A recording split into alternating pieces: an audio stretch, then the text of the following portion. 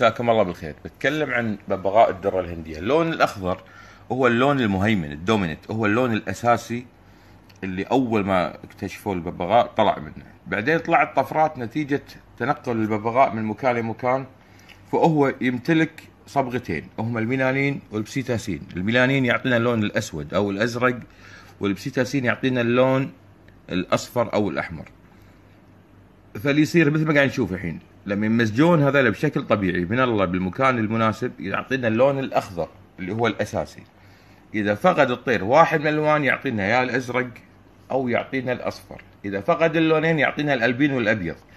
وهني حسب تركيز اللون اللي فقده أو المادة اللي هي الميلانين أو البسيتاسين يعطينا عاد الألوان اللي شفناها قبل شوي منوعة.